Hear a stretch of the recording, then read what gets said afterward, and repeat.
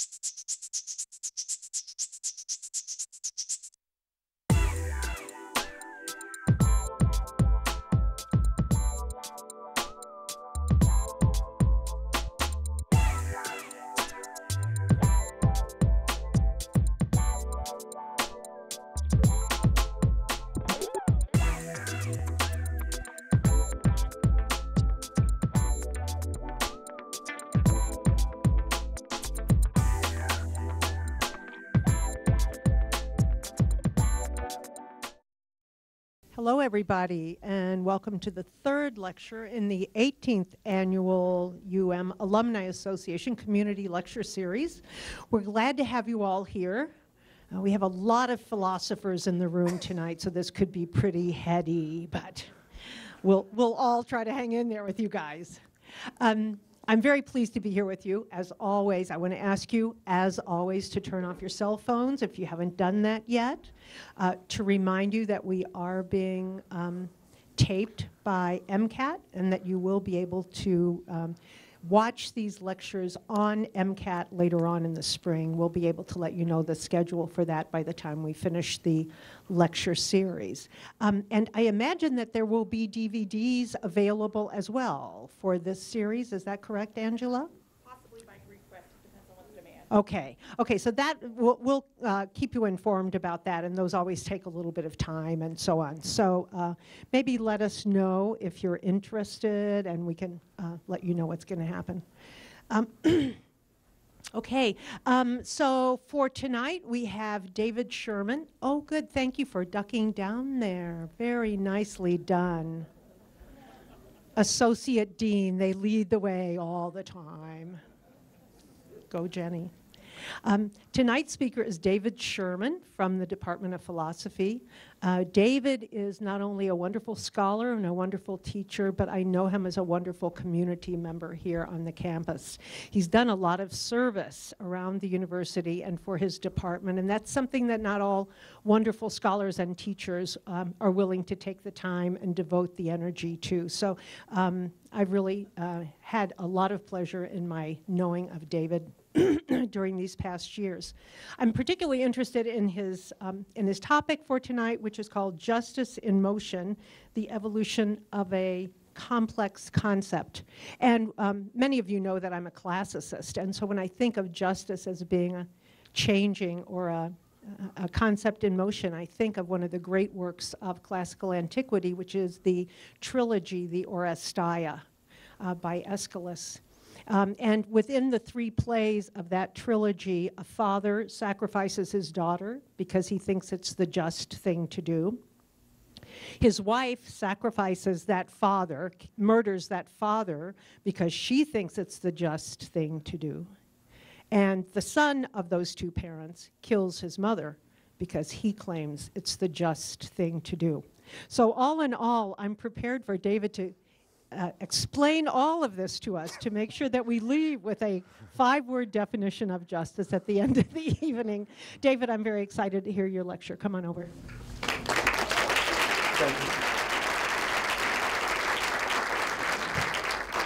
Well, that, firstly, it's really a pleasure to be here. I was very excited when I was asked to uh, speak uh, by the Alumni Association, and I thought in particular, this is going to be great because one of my biggest problems is what, in dealing with students over the years, the cultural reference go away very quickly.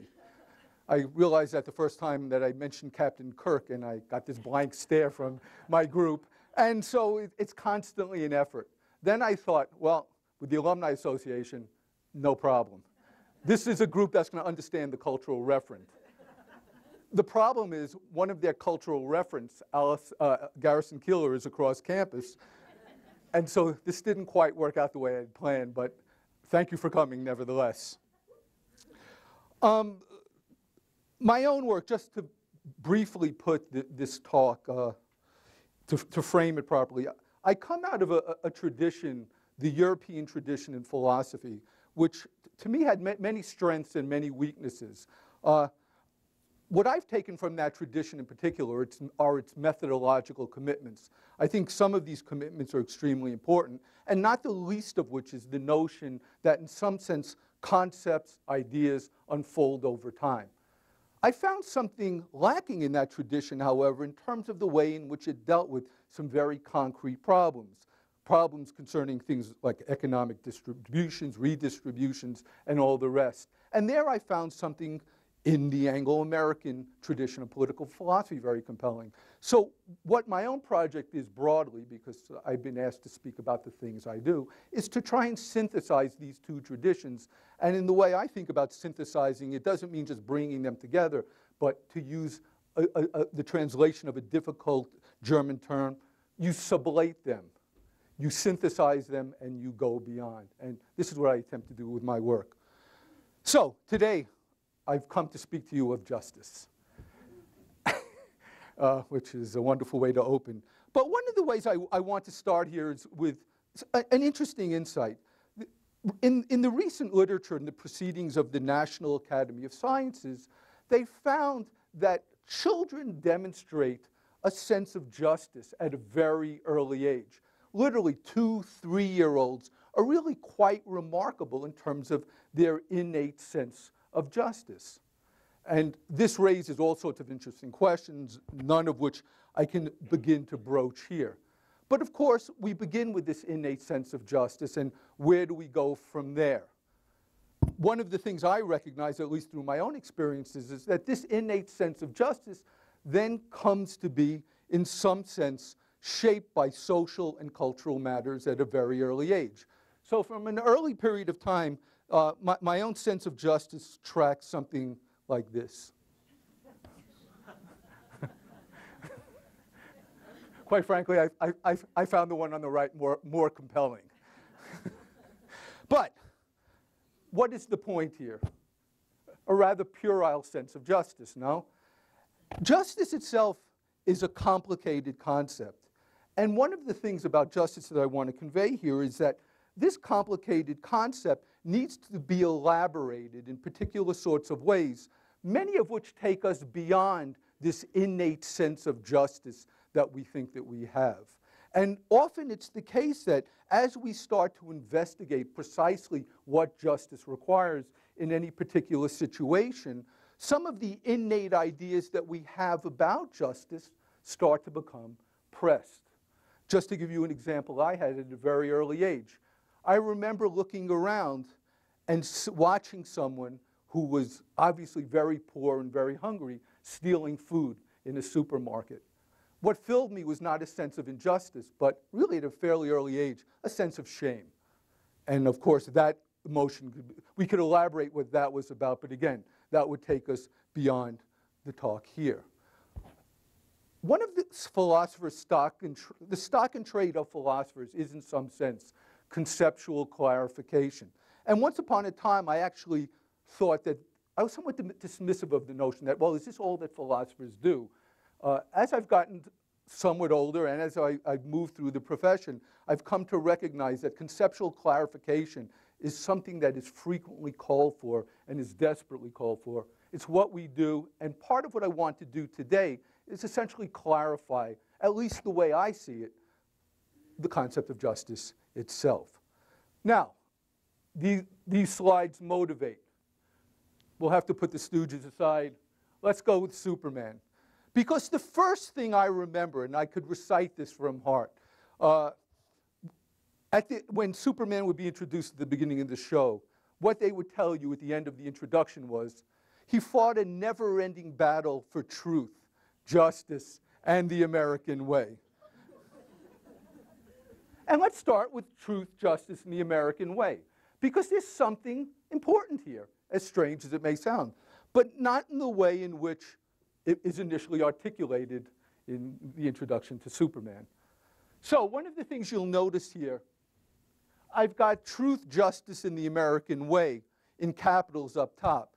And of course, in the Superman episodes, these things run together seamlessly. There's truth, justice, the American way no problem. The American way reflects truth and justice.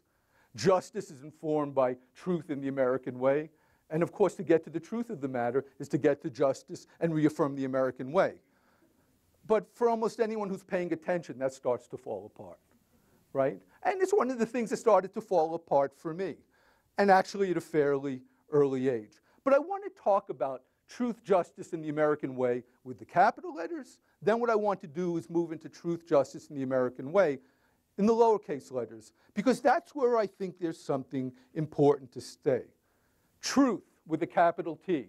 This, in some sense, is a manifestation of what philosophers would refer to as a teleological view.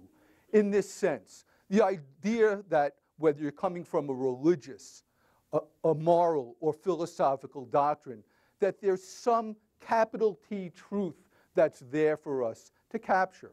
And truth itself, with this capital T notion, manifests itself in a variety of forms. As I suggested, it manifests itself in religion. But it also manifested itself in what was antithetical to religion, what was once called by orthodox Marxists dialectical materialism.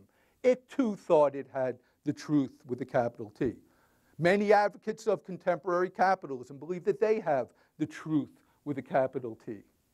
And one of the things that I want to suggest to you is that the notion of truth in this sort of sense is deeply problematical when it comes to notions of justice for reasons that in some sense are manifesting themselves in the world today as different groups with different capital T conceptions of truth that dictate capital J conceptions of justice go out and justify anything they do in its name.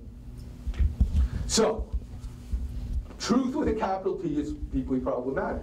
On the other hand, truth with a small t, as I suggest up here, in many ways is crucial for making sense of justice.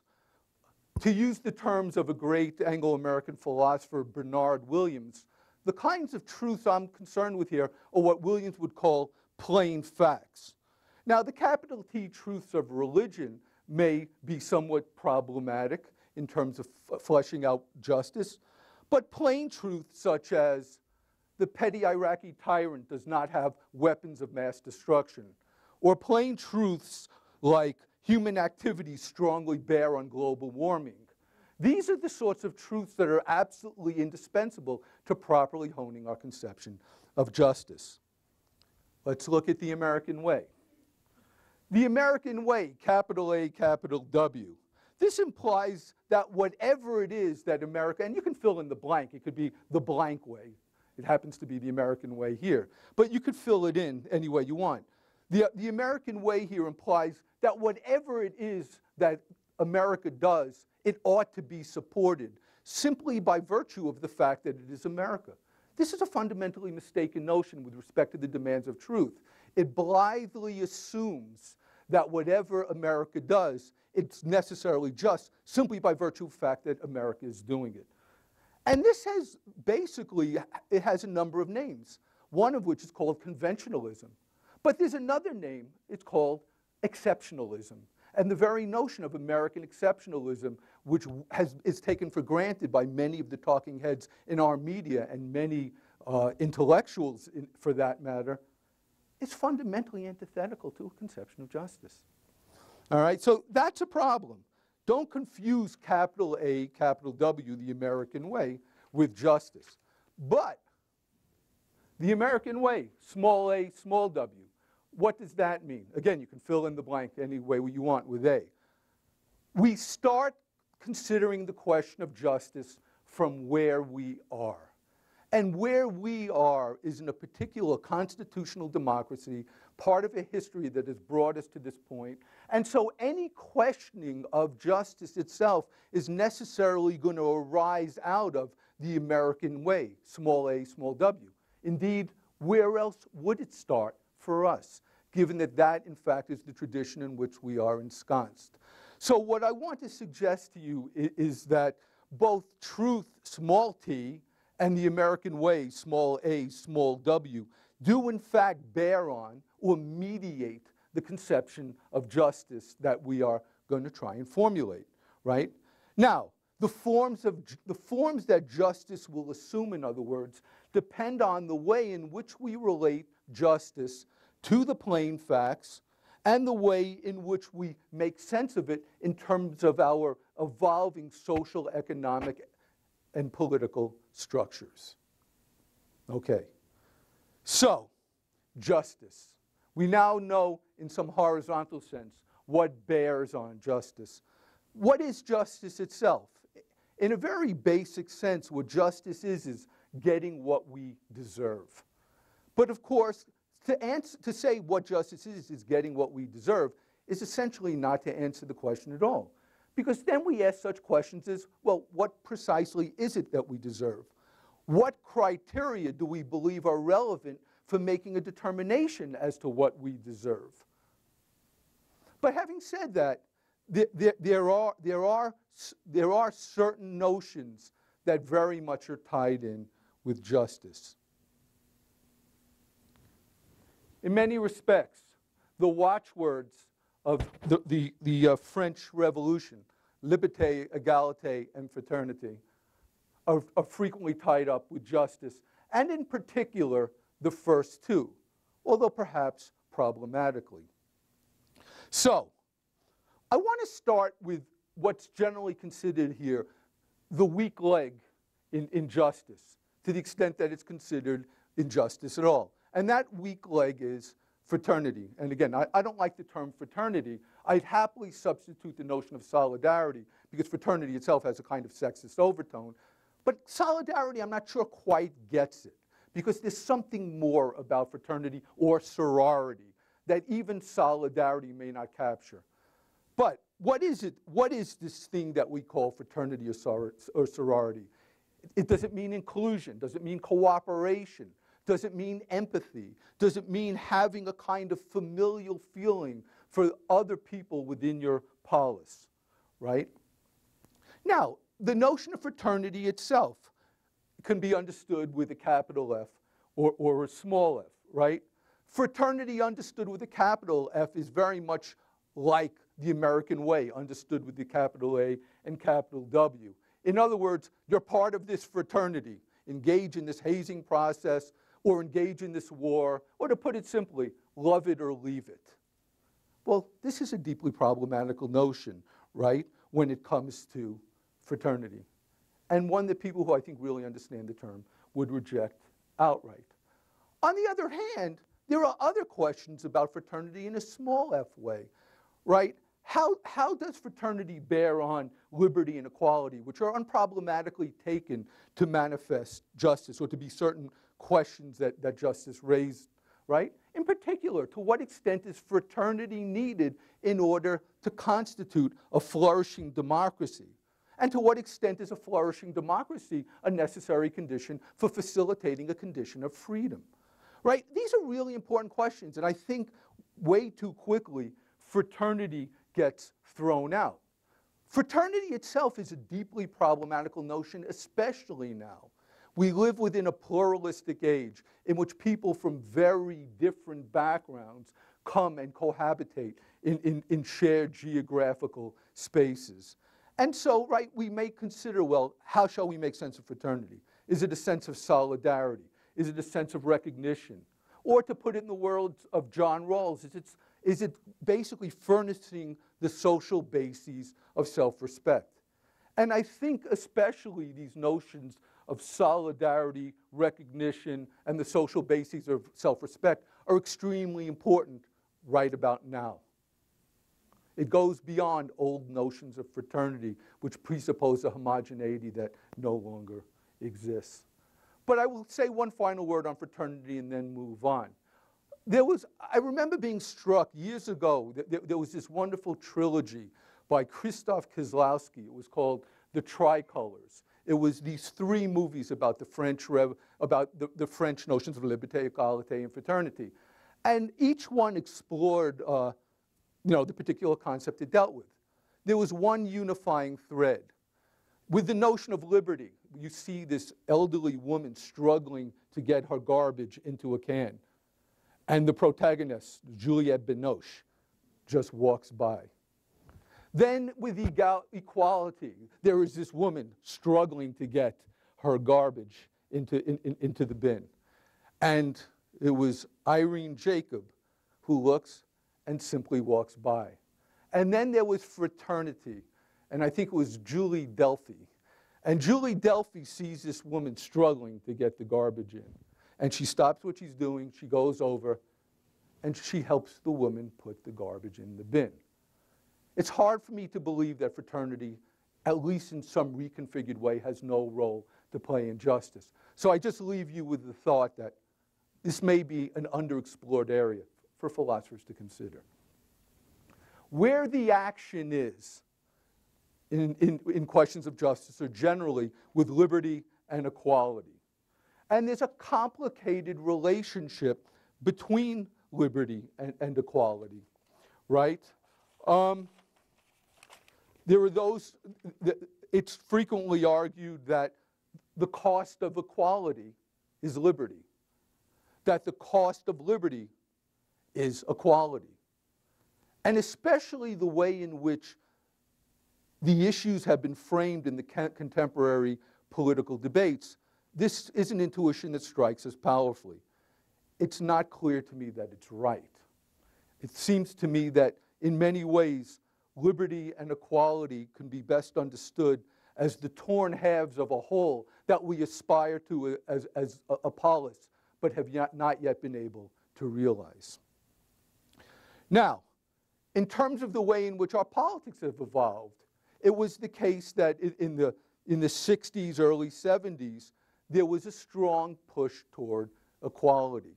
Come the late 70s, and, and especially in, in the early 1980s, going forward to this point, equality has more or less been subordinated to liberty. It's really only become clear since the 2008 financial crisis and, and, what, and what has occurred in its wake that equality is an enormous problem and has been for us for the past 35 years. Um, and I'll, I'll, talk a little bit more about that later. But one of the things I want to point out before mo moving on here is that both liberty and equality themselves must be understood in smaller case letters. Why is that? Nobody even the most ardent libertarianism, and libertarianism is what I'm going to call into question tonight, no one, not even the most ardent libertarian, is going to demand capital L liberty, which is untrammeled liberty. No one's going to, no one asks for that, and not even libertarians. On the other hand, there's no egalitarian who's going to make the argument that we must be equal in some capital E way. That flies in the face of too many sort of intuitive insights about the lack of equality among people. Not in a political sense, but let's be frank. Some of us are better looking, some of us are worse looking, some of us are smarter, some of us are less smart. To not face these obvious facts is silly. Of course, the question is what you do with them and how they then bear on your moral outlook and your moral political outlook. That's an entirely different story. And in that sense, we want to understand ourselves as equals and as having liberty. But again, it's always going to be in a smaller E, smaller L way. John Rawls, who's the most important political philosopher in the, uh, probably in the Anglo-American tradition since John Mill, so we're going back now a very long period of time, he was a strong advocate of egalitarianism with what he called the difference principle. It's unimportant for our purposes, as well as emphasizing called fair equality of opportunity. Having said that, it never occurred to him to demand equality in a capital E way. So what we're talking about are, are liberty and equality, small l, small e.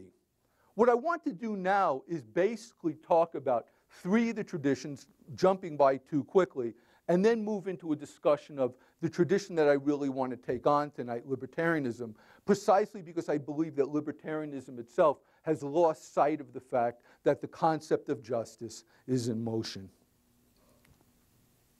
Okay, so now we, we, have got liberty, equality, and, and fraternity. These are the three biggest games in town. I mean, there are others. Um, some I hope we never have to add. Some I wish we could add. I won't go into those, but at least for us, these are the three big games in town. And libertarianism, as this suggests here, and, and, and I'll talk about momentarily, its emphasis is on liberty, often to the relative or absolute exclusion of equality and fraternity.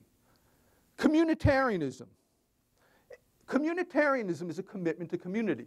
You'll notice that I have the line running down to communitarianism. It's halfway between equality and fraternity. What, what is the intuition on that I'm trying to capture here?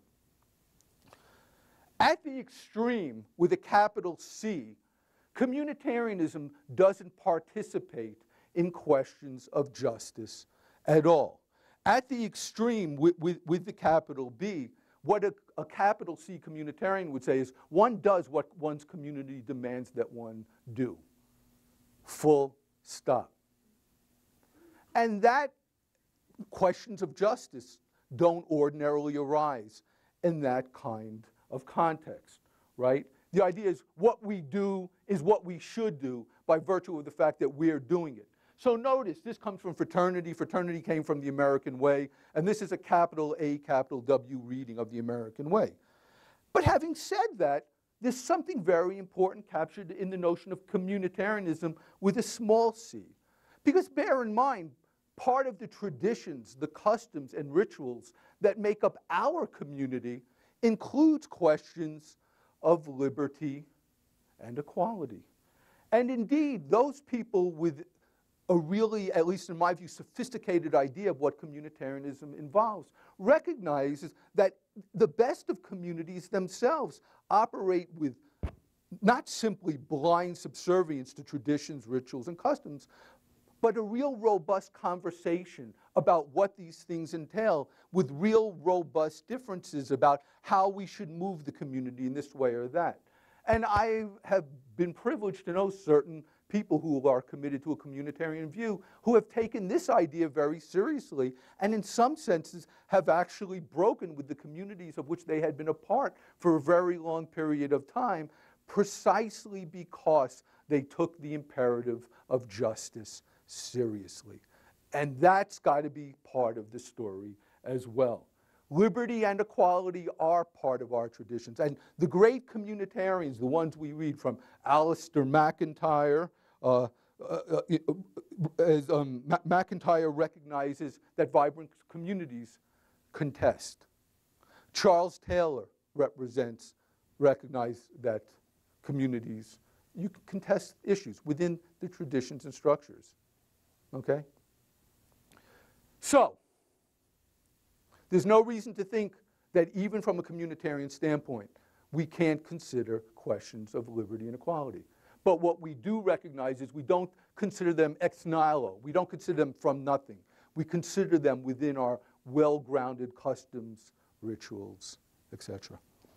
Liberal egalitarianism. Liberal egalitarianism, again, and this was, the, this was represented by the position of John Rawls, who I mentioned earlier, has always tried to, in some sense, mediate the relationship between liberty and equality.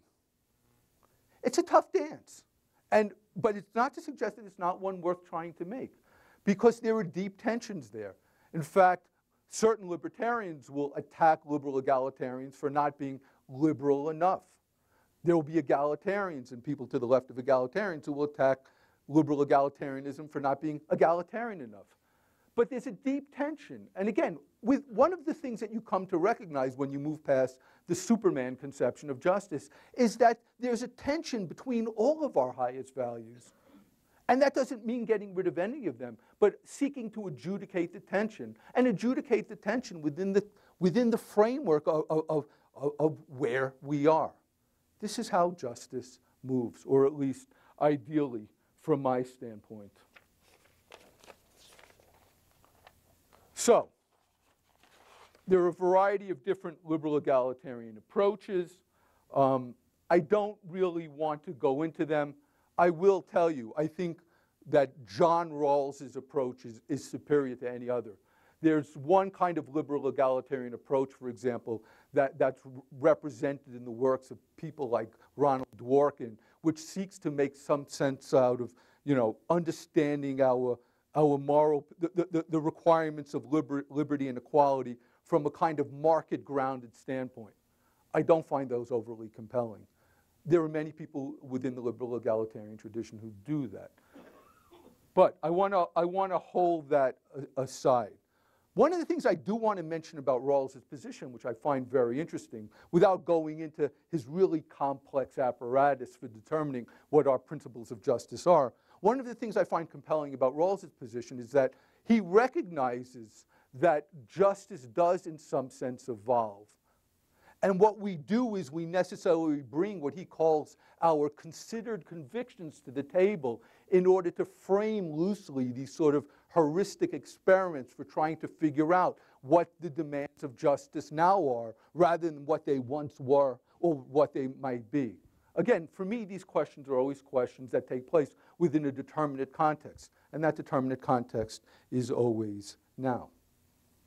Libertarianism. This is the political philosophy that has held sway in the United States roughly since the late 1970s, early 1980s, when it replaced what was crudely social, you know, social democracy, a, a weak form of social welfareism that in some sense was mildly correlated with a Rawlsian framework. I mean, Rawls's framework was much more sophisticated, but the, the, the, there was a sea change and one of the books that facilitated this sea change, ironically, was a book by a fellow by the name of Robert Nozick, who wrote a fairly famous book called Anarchy, State, and Utopia. For those of you who watch The Sopranos, there's an episode in The Sopranos with someone who's reading a, the, uh, uh, the, Anarchy, State, and Utopia. And it was really a sort of ironic comment on Anarchy, State, and Utopia. If someone wants to ask me during the question period, I'll be happy to answer it. I, I, I don't want to. I've got 27 minutes and I've got more to cover. All right. So, for libertarians, the emphasis is, on liberty, right? And libertarians understand liberty with a capital L. You already get the sense this is not my cup of tea. What is this capital L? One of the reasons that I refer to libertarianism as, as having a capital L is that, from my standpoint, it seeks to hypostatize, to, to pin, to conceptually pin an, a conception of liberty and hold this is what liberty is, and this holds across time frames. And again, this is precisely what rubs against my own methodological commitments, and I think it gives rise to deep problems, right? Um, my own view is this. I mean, let, let, let, let me encapsulate it by us failing to see that even our highest values, such as liberty, must develop over time, as society itself develops over time, we don't preserve these notions as we refuse to reconsider them in the face of new times, but rather what we do is by hypostatizing them, by pinning them down, in some way we end up doing greater violence to the spirit that underlies these notions as the times that made sense of the notion leave it behind and we kill, still try to foist the antiquated notion of what this should be on our contemporary time. This is the problem I have with not recognizing that justice itself is a concept that's on the move. To put it in terms that um, European philosophers would recognize, this is of a piece with what the German philosopher uh, G.W.F. Hegel would refer to as the movement of the concept. In libertarianism, the concept, it ain't moving. And I think this has given rise to enormous problems. So, what, what, what I want to do for the remainder of this lecture is to discuss libertarianism in particular, the grounds that it gives in support of itself, and try to show why, in some sense, libertarianism remains a deeply ungrounded political commitment precisely because it claims to ground itself in a particular understanding of liberty and equality that no longer really pertains, at least in the way in which it was initially formulated for our current age. But what I want to emphasize here, lest some of you get the wrong ideas, I'm a big fan of freedom. I'm a big fan of equality. It's not that I'm saying that freedom and equality ought to be rejected because these have become antiquated notions. There are actually some political philosophers who've been making those sorts of claims about liberty, equality, uh, and democracy in the face of growing you know, technology. It seems to me this is a perilous mistake. What I am saying is, is that insofar as you want to maintain an, a self-identical notion of liberty or equality going all the way back, and you then take these notions which grew from a much earlier period of time and trying to hang on to them in just that sort of way in the contemporary time. You falsify these notions. In fact, what Hegel once argued, and it seems to me is exactly right, concepts end up turning into their opposites. And what we need to do is we need to always be rethinking our concepts in their time. There's a German phrase, it's called hermeneutics, and it talks about this interpretive task of constantly thinking and rethinking and considering and reconsidering our highest values and how they ought to apply within our current era. In fact, I, and now I'm a bit out of my depth, but I do remember once listening to a, a, a scholar in the history of Christianity talking about the Gospels. Was uh, Matthew, Luke, John, and Mark. And one of the things that Matthew, what, what, what, what, what, what, one of the, one of the things that Matthew, Luke, John, and Mark, if you read them closely, what you recognize is they're all looking how to make sense of the Christian word in their own times.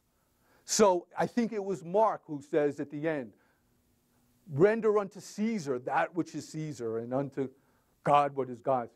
Well, this is someone looking to make sense of his commitments in a certain time and place.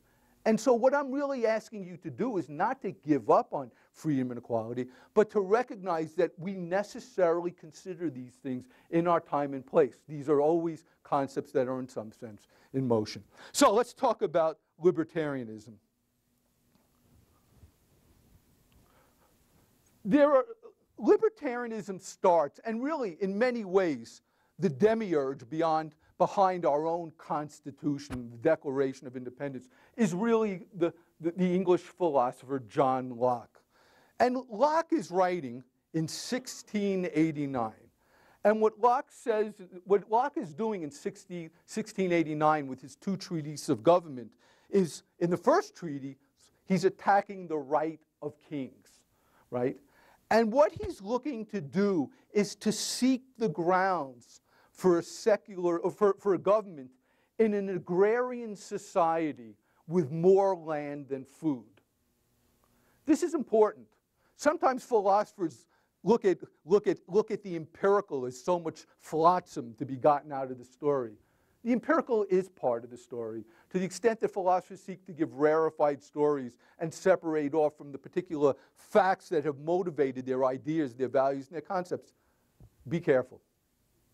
So, what is, what is Locke's position? Locke takes the position that natural rights, right, and he's a natural rights theorist, issue from God. Every individual is marked by self ownership. The idea here is for Locke, we have rights to life, liberty, and property and the property follows from life and liberty. This may seem vaguely uh, familiar to you, right? Life, liberty, and the pursuit of happiness. The pursuit of happiness was a throw in because not everyone had a right to property, right? So it's a great sound. It, almost, it, almost, it, it, it, it seems to, you know, it, it, it, it, it, seem, it seems to give our, our founding a, sharp utilitarian turn. But really, what it was a throw in line because not everyone had property. So, Self ownership, a strange view of the self relation where we, in some sense, own ourselves, right? And the idea here is we can alienate that ownership. And so libertarians are famous for the idea that we could actually sell ourselves into slavery.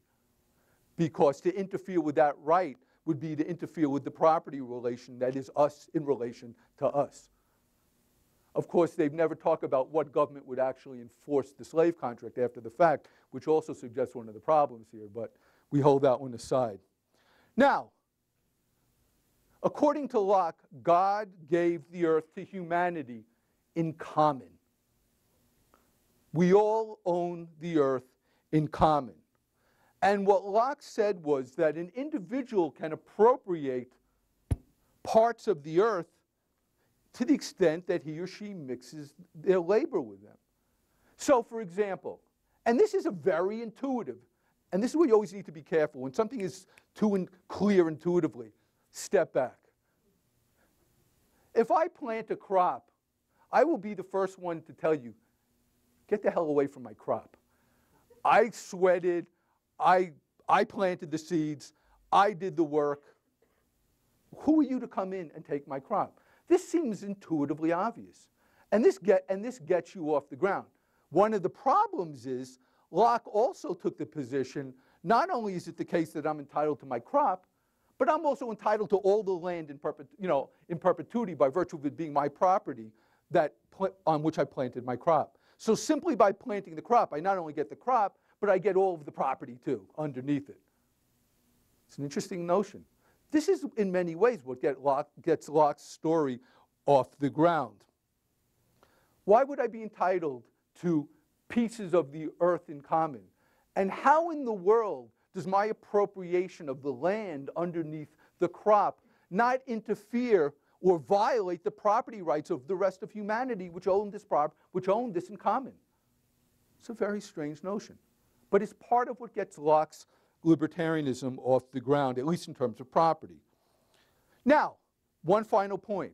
Locke has this proviso where he says, you are entitled to the land as long as, quote, there is enough and is good left in common for others. And this was not a problem in 1689 in an agrarian society with a lot more land than there was food and seeking to encourage people to produce for purposes of feeding hungry people seemed to be a wise thing to do. It's not clear to me that Locke ever foresaw that this was going to be turned into an eternal principle. At the time, it made a lot of sense.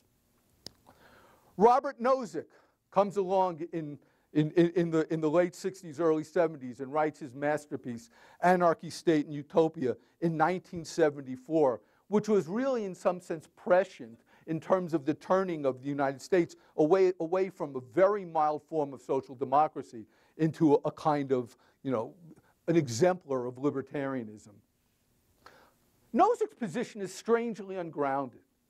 Unlike Locke, Nozick makes no reference whatsoever to God, so the question is, what is it that's ultimately grounding the natural rights that Nozick wants to offer as well as Locke, right? So that's the first problem. Nozick also recognizes the problem of mixing your labor. This never becomes really clear. But then he looks at the Lockean proviso and he says, this is a problem. What does he do? He basically waters down the proviso. He says, because there's not enough in his good left in terms of property for the rest of us in 1974 and even less in 2015. So what does Nozick do?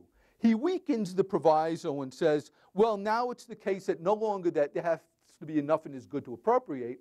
Now it just has to be the case that there's enough in his good to use.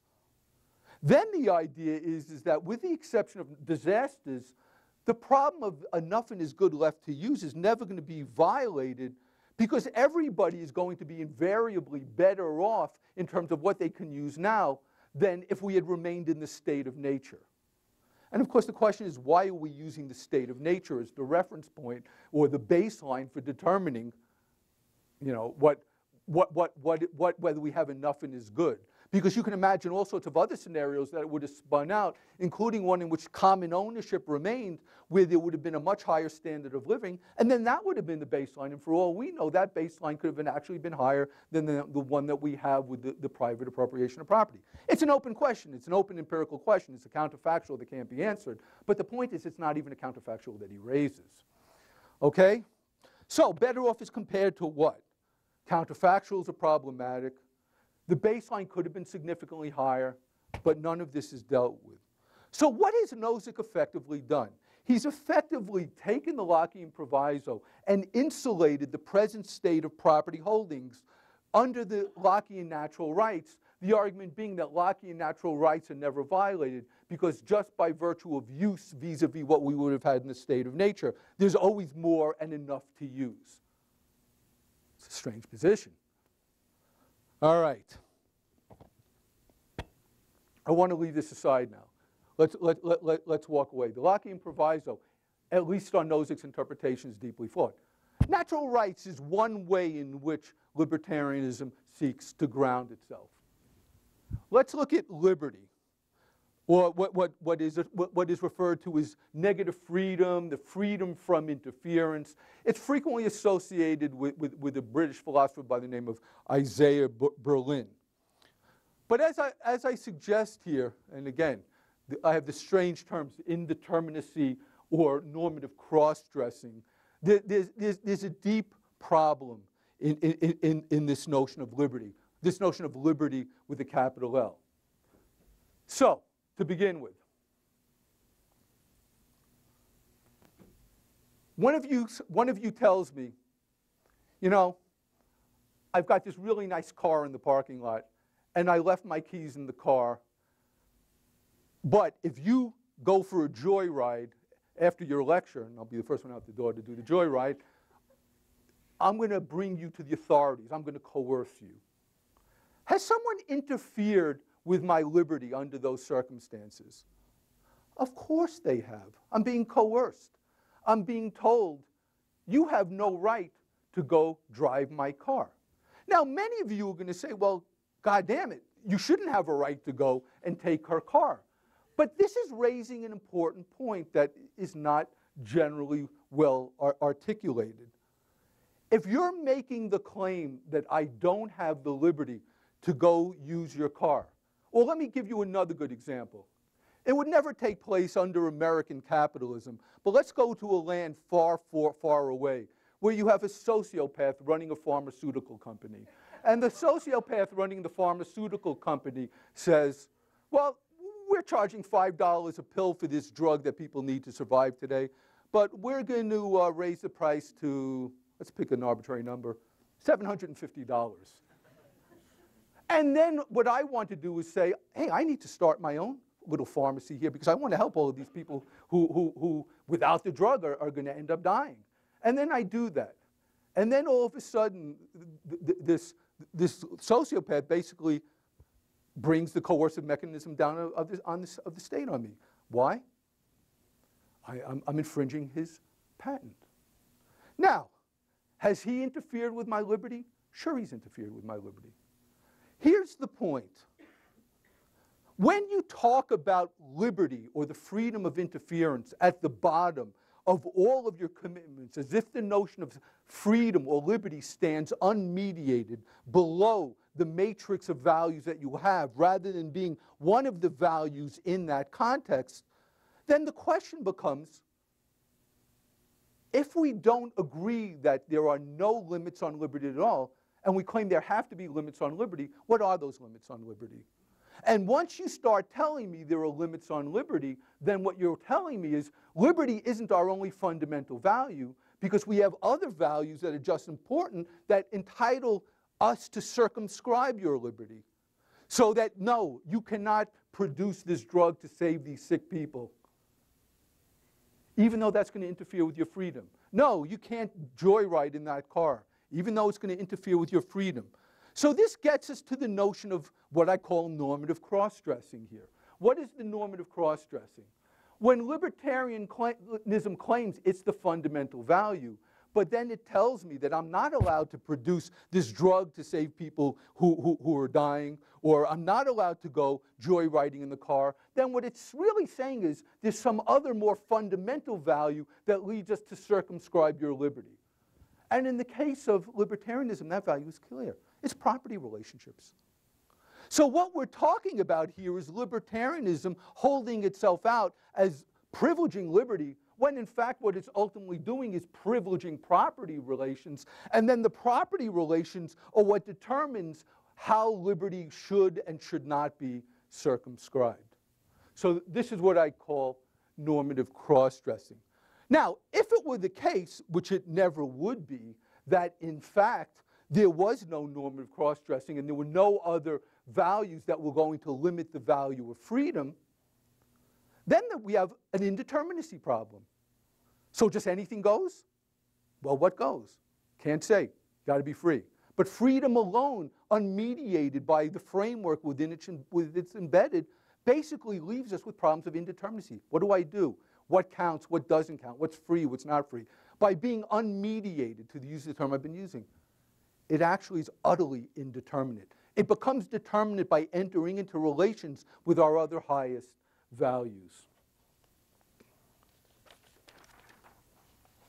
Finally, I want to talk, a close with, with, with the third justification for uh, libertarianism, the quote unquote free market.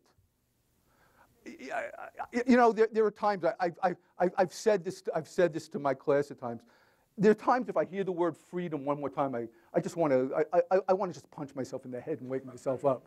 Because the idea here is, I mean, you use freedom just endlessly in this stream that it, it means nothing at all. And everything is sanitized with the gloss of freedom, right?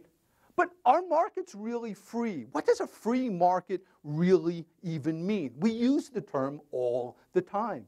And yet we have no real conception of what it means, and we have no real conception of whether our markets themselves are free markets.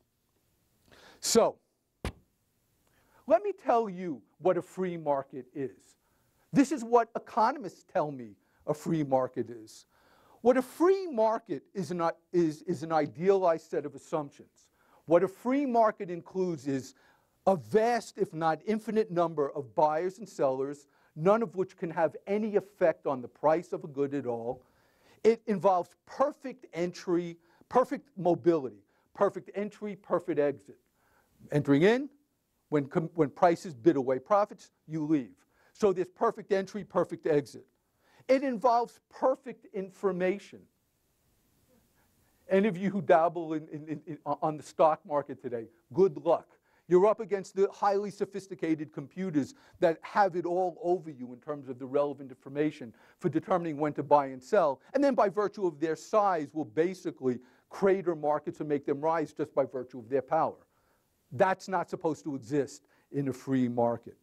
You have no transaction costs whatsoever and finally, and most importantly, there are no externalities. If you run, for example, a petrochemical company and you then pollute like crazy, you have violated a libertarian commitment, namely not to externalize costs. Although I don't have to mention the names, I hope. There are some people today in the political sphere who call themselves libertarians and simultaneously pay all sorts of people to deny climate change who do precisely that. Look at all the important American industries finance, insurance, pharmaceuticals, energy, telecommunications, transportation, computer operating systems. None of them are remotely free markets in the historical sense in which the notion of a free market is understood. Rather, these are all oligopolistic markets. Not quite monopolies, but they're oligopolies. Very few, very, very few you know, producers who basically determine the nature of the market through either price signaling, implicit or explicit collusion. Probably more explicit than we know, although that in some sense is illegal. If you have no, no one enforcing government regulations, people get away with illegal things all the time. And to have people enforce government regulations, guess what? You got to have money, the government spending money to enforce these things. That requires the curse word, T, taxes, right? No, no, no one's enforcing any of this. But, but the idea here is we have all of these idealized assumptions concerning the quote unquote free market. And then what's worse are the people who have generally justified libertarianism on free market grounds, people like Hayek and Friedman, who the one thing they shared in common, incidentally, they were both supporters of, of uh, uh, Pinochet in 1973, which was a democratically elected government in Chile that was overthrown. Uh, there's, there's, a whole interesting story there. I don't have time to get into it now. If you want to ask about it on the questions, I'd be happy to respond. But the notion here is, is that you've got not only these idealizing assumptions, but what really people like Hayek and Friedman had argued was that the free market itself in libertarianism was justified on the grounds of efficiency. It delivers the goods. Look around today and tell me to what extent you think that our economy is delivering the goods for a majority of citizens. And, in, and, right, and, and there are other deep problems as well, because libertarianism itself argues that this is a fundamental un- underlying deontological commitment, it's a duty.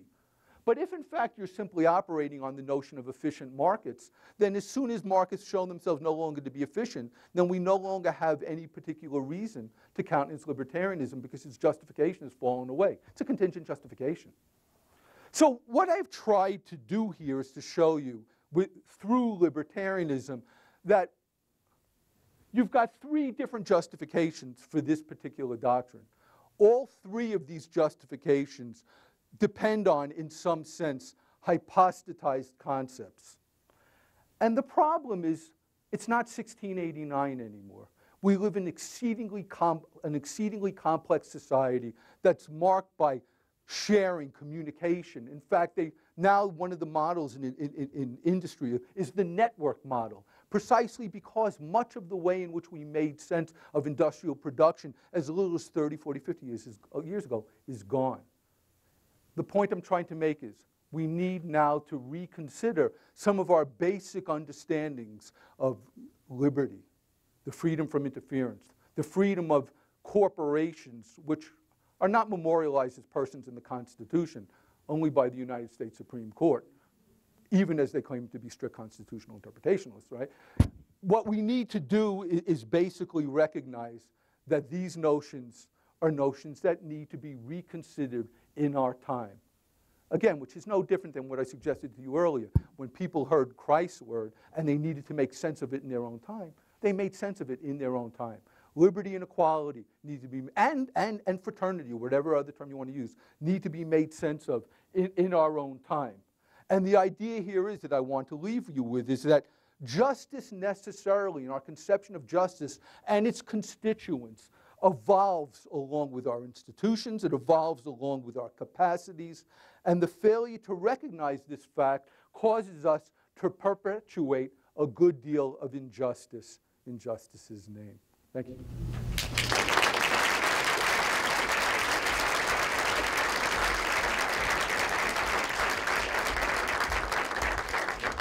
You go, perfect time. Okay, so we're going to have um, the usual two mics back here, one on each side, and David, I'll kind of look around and point to people who are Sure, sure. have their hands up, and please wait until somebody brings a mic to you before you ask, so that everybody can uh, can hear your question. Okay, so uh, where do we first see a question? Okay, I'm going to call on you.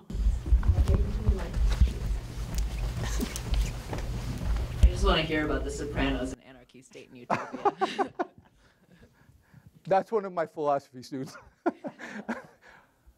What's very interesting is in, in that episode, right, one of the things that Nozick claims is that through what he calls dominant protection associations, people are basically going to be insulated against violence from wrongdoers outside the law, outside the Dominant Protection Association, which today Sierra was running. Uh, and the idea was someone had see, someone saw Tony Soprano commit a crime, and this guy was going to turn state's evidence. He was reading Anarchy, State, and Utopia. His wife gets off the phone and says, "You saw Tony Soprano." As soon as he saw, heard that he, he had, it was Tony Soprano who had committed the crime, he forgot about what he saw. The idea being that neither a dominant protective association nor the state was actually able to protect him against rogue elements, which is one of the arguments that Nozick is trying to make in Anarchy State and Utopia. Yes. Okay, who else has a question? All right. Uh, one of the things that I've always kind of struggled with when it comes to questions of ethics and justice is like do you feel that there are uh, things that are fundamentally unjust?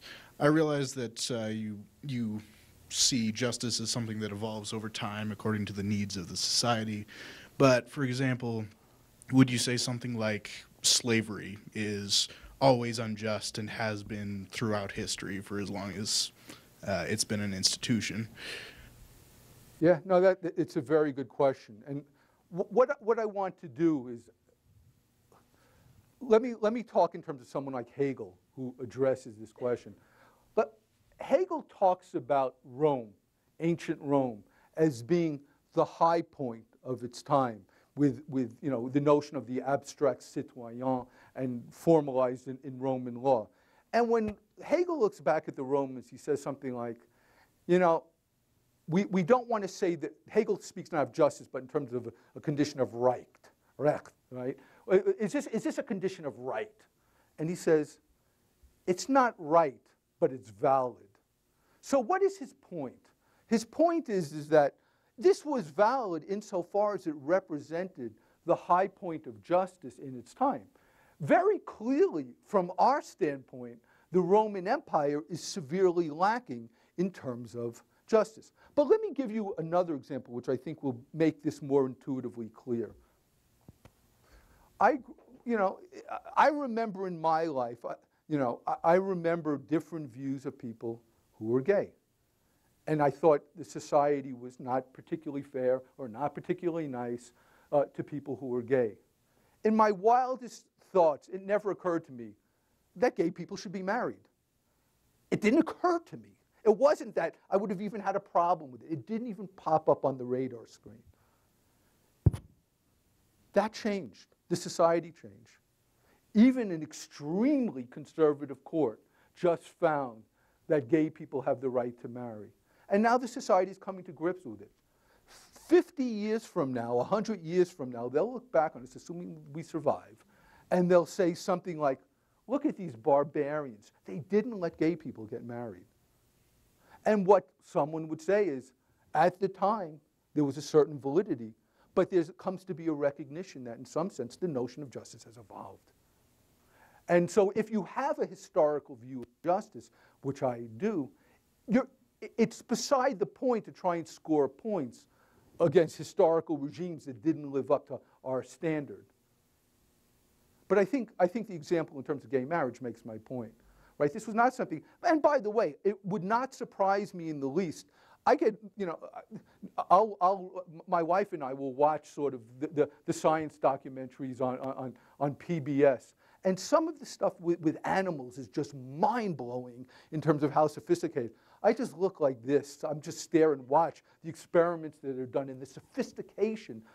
Once a, there, there will come a day where I, it may very well be the case that eating, you know, eating animals is going to be looked at as utterly immoral and barbarian. We're not there yet. Could be in the future. The point is these things are in flux. Does that help? Good. Who else has a question?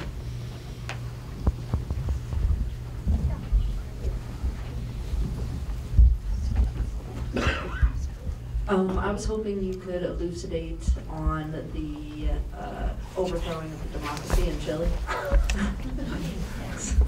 I'd be happy to.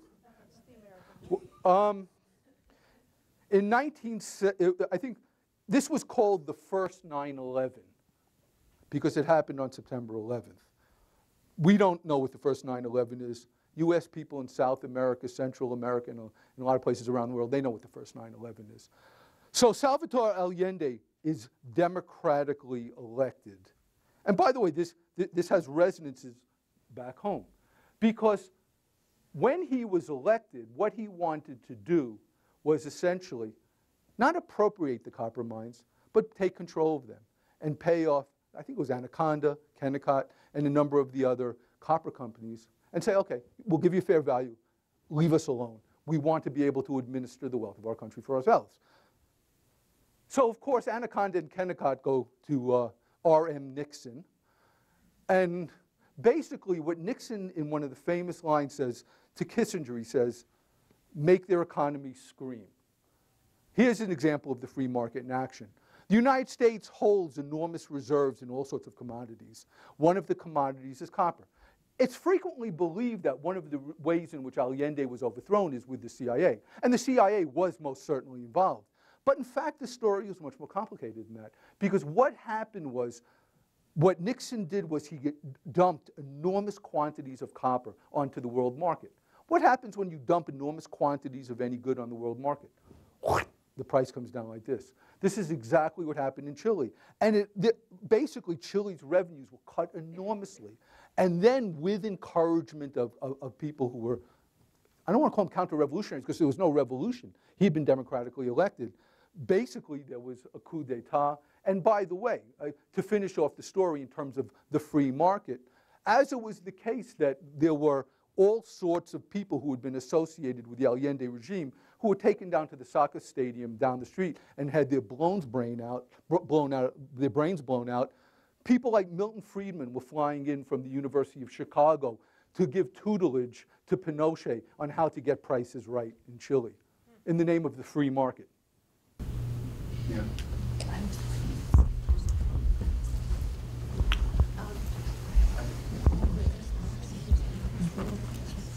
Um, Do you think that uh, Scalia's concept of origin, originalist, I'm not sure um, how it quite said right, are going to um, last? Or will they be buried with him? Right? You know, I, I mean, it depends on the politics, right? I, look, I, Scalia, I, you know, it, it's, it's not, it's not nice to speak ill of the dead, they say. But I've looked at his, some of his opinions. I looked at his, his positions in, in, in- right, in Bush v. Gore. I looked at his, his positions in a variety of cases. I, sound, I, I found no great insight there. And in terms of his wit, I usually found it to be at the expense of the victims. Um, having said that, look, this is what's going on right now. This is, this is being contested. What will be, right? There, there are certain segments in society that obviously want to replace him. There are other segments in society that don't. Whether it disappears with, with Scalia or not depends upon the politics. That's why politics still matters. I, I, I mean, you know, many people can be turned off by politics, and I mean, God knows they have good reason to be. But I, I remember when I was in the, in the Netherlands, I, I went to the Anne Frank house. Um, and there was, there was a, a letter from Anne Frank's father, who actually had survived the Holocaust.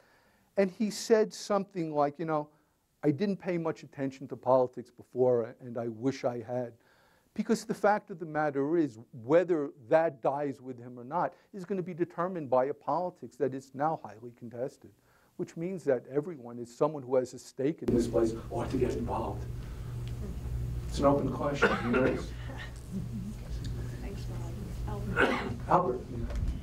Um, oh, I really liked it, like, I think it was great.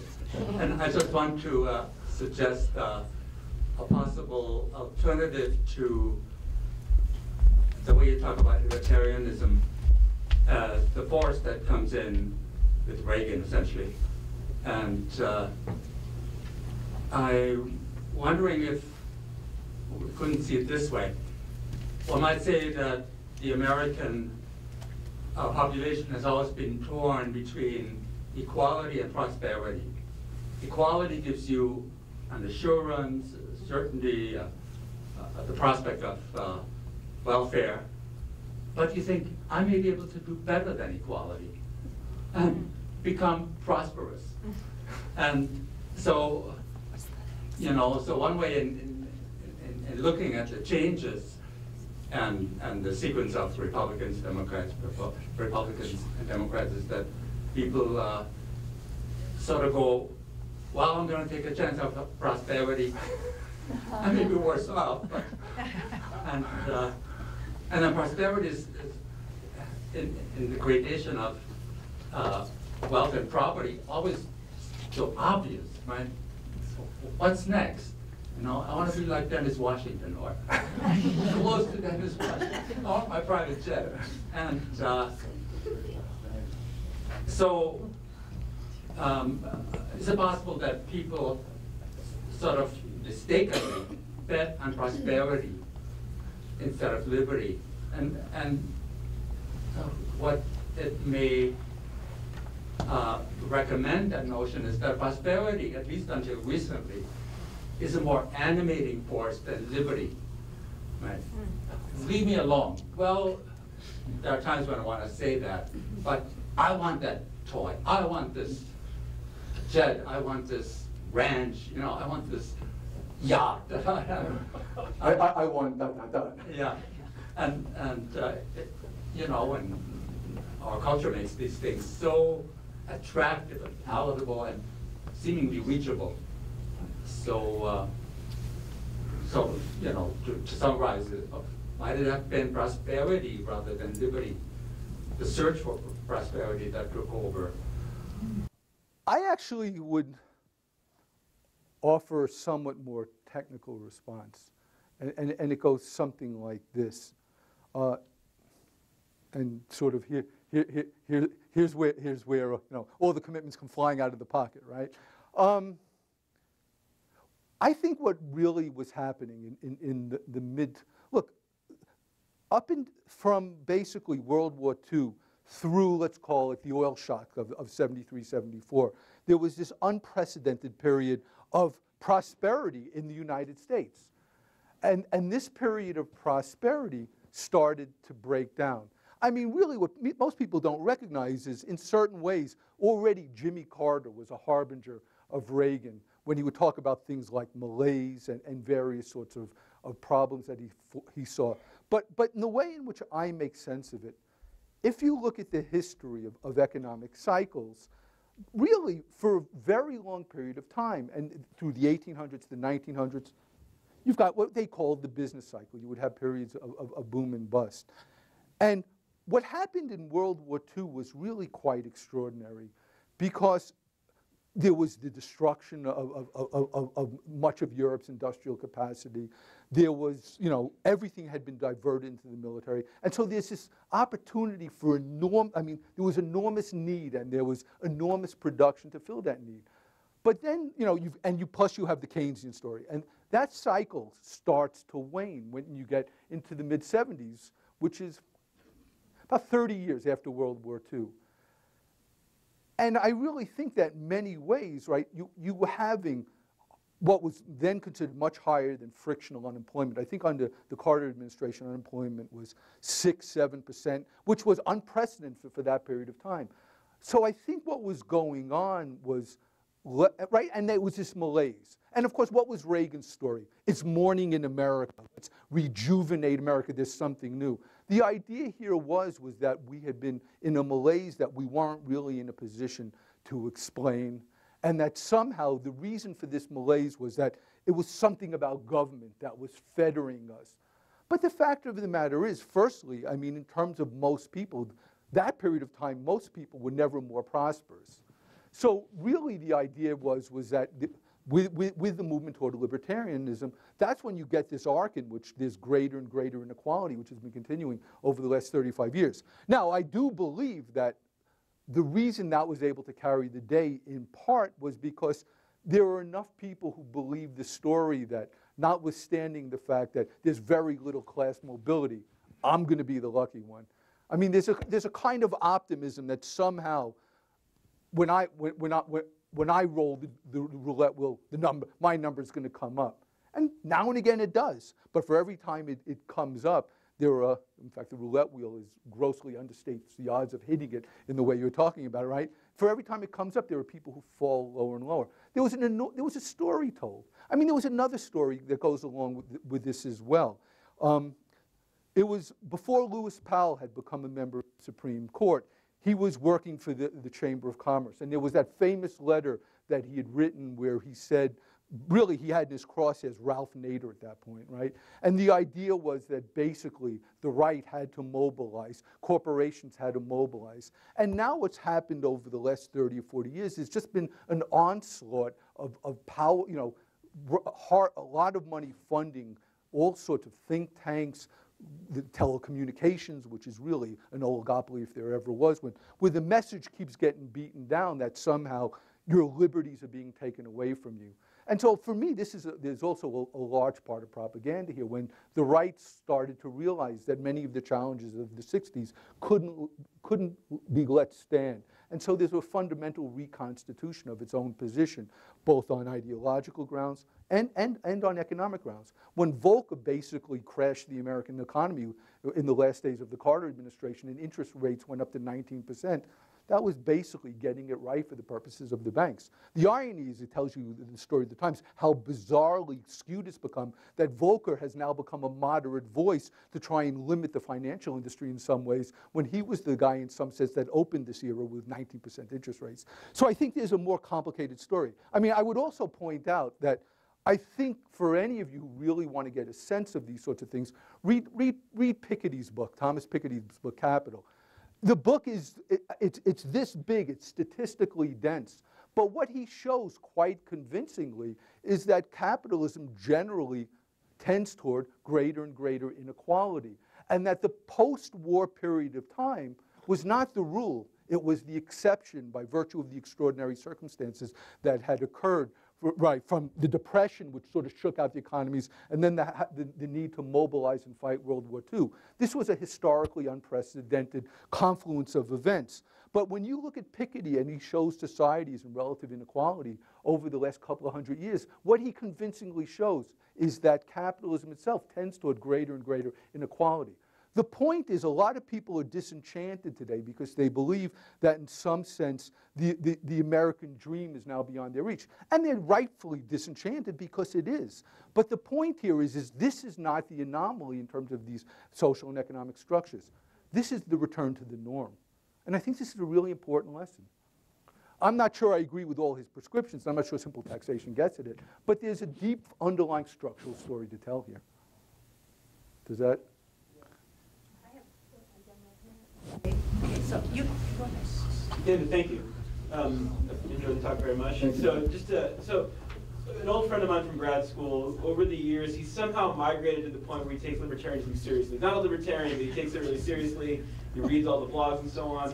So I'm, I keep in touch with this guy. I'm constantly being challenged by the most intelligent version of the libertarian objection, right? And, and um, one point that he presses a lot is that most of these regulations, we make, we, we put regulations in place in a very unempirical way, and a lot of them don't end up accomplishing what to accomplish, and it's, it's effectively like, oh, there's inequality, the solution is to set some of Charles Koch's money on fire, right? It doesn't accomplish anything, it doesn't shift the money, it just makes it, it makes the economy not grow at the same rate, right? So, um, on the other side of the coin, you didn't talk about the difference principle very much, but there's of course a huge number of empirical questions that are very vexed that surround that. There's no question. And what I'm wondering is what you think about that, that, that, so clearly, even if we're not libertarians, they're not completely wrong. Markets do something, Use the right? mic, use the Oh, you can't do it, sorry. Mar- markets do something, right? Markets do something. We, we can agree to that.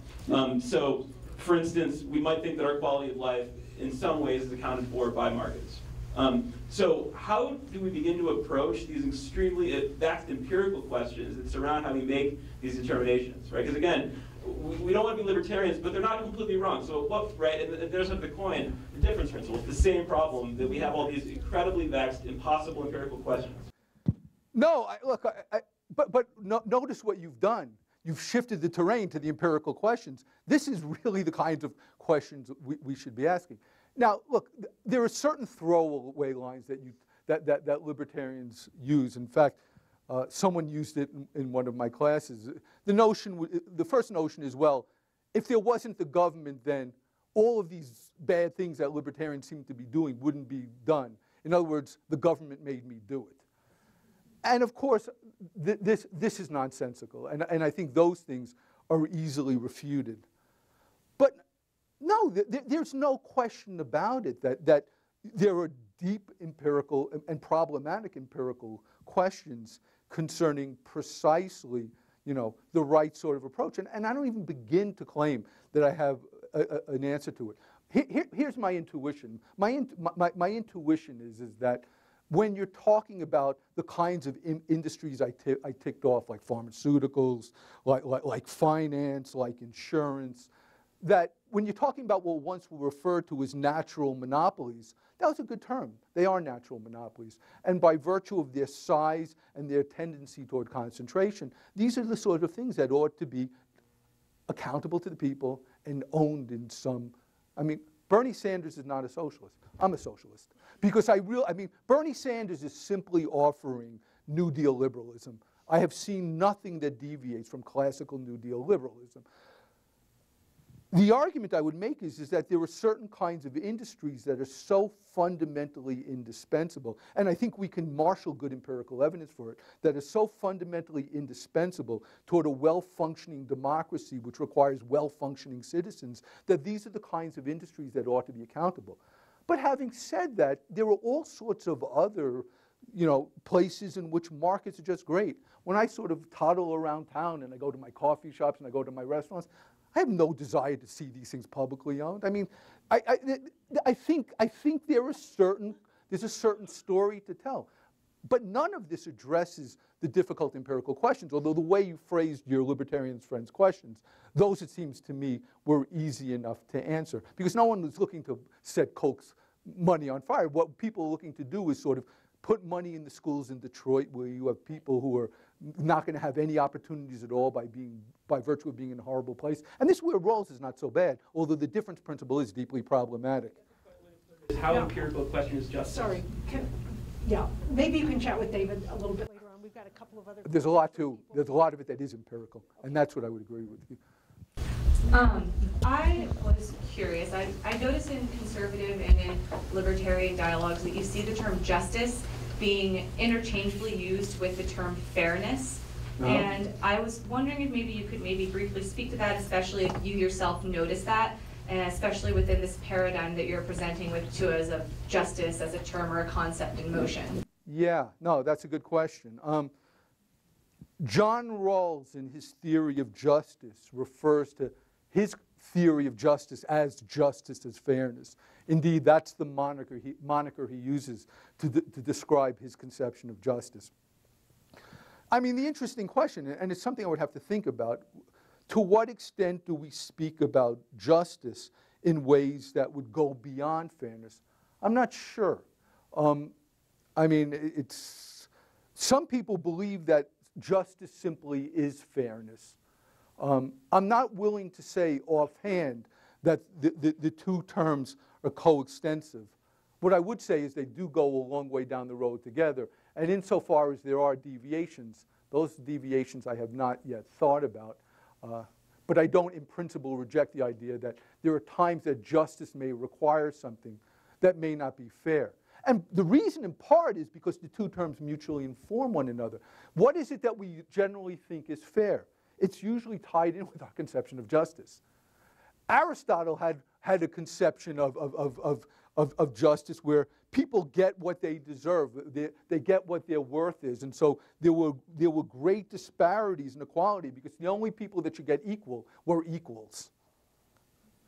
Matt, Matt, Matt's looking a little bit perplexed, and, and this is our Aristotle scholar, so I, I may be here a, a bit on thin ground, but this is what I seem to remember from, from Aristotle, that like people get like, but in terms of the rest, unlike get unlike. The very, the, the very notion of fairness changes over time. And with that notion of fairness change, I think justice changes as well. So I think part of the problem in separating out the two terms is that they seem to mutually inform one another so tightly in terms of, of our pre present conception of it. It's not clear to me what justice means without fairness, or what fairness could mean without justice. I, I, I, it's a good question. I'm not sure I can give you a better answer than that. I'll think about it. Yeah. I, I, I guess I would agree with the discussion that says that sometime around 1980, as, as Piketty would say, as you said, as Albert said, that is sort of a turning point. But I wouldn't put the driver as a change to a libertarianism philosophy or the election of Reagan. I think those are secondary things. To me, the main driver of the last 35 years is globalization and the winners and losers of globalization leading to the current inequality. And of course, that's what the current election is struggling with, is, is, is how, how you deal with the inequalities created by, by globalization. So I, I'm, I'm not willing to concede that the last, that libertarianism is in the ascendancy the last 35 years. We've had, we've had Reagan, we've had Bush, but we've also had Clinton and we've had Obama. And I, I, I don't, I don't see, I don't concede that, that libertarian philosophy has, has won the day, but the situation we're in is driven, I believe, mostly by globalization, which is sort of independent of, of, of that. So, so let me, let me address what you're saying, because I, I agree in part and I disagree in part. I think firstly, there's no question that globalization, and just as important, technological change, has had an enormous impact on, on, on people's fortunes. Now, having, so in, in that sense, I agree. I'll, I'll come back to that part of it momentarily. Now, you mentioned Clinton, you mentioned Obama. Clinton and Obama have been functioning within the dominant paradigm, which I think has been the movement toward a kind of libertarian position in the early 80s. Dwight Eisenhower once stated during, in the mid to late 50s, he said something like, we're all Keynesians now. And he would have no truck with people who were breaking from the Keynesian paradigm. I mean, even Nixon, in some sense, wa- wa- was a Keynesian. I mean, you know, he had wage and price controls, right, to, to deal with various sorts of problems. And Nixon had a fairly, you know, robust government presence in the economy. On the other hand, Clinton was very much a libertarian. Clinton was the one who deregulated the financial industry. Clinton was the one who ended more or less aid for families with dependent children, who ended welfare as we know it, as he put it. Uh, and, and in a wide variety of other ways, Clinton pushed what was called the neoliberal agenda. The neoliberal agenda was a libertarian agenda. Obama has compared his economic positions with Dwight Eisenhower's.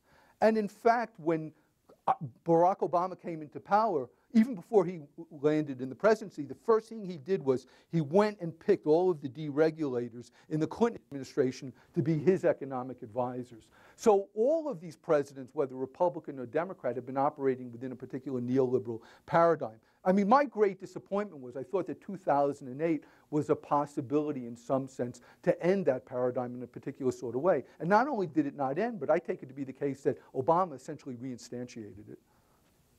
Uh, Dave, But- I think we're going to have to stop. It's about time now for us to go. So can you continue your, your discussion? Thank you very much, David.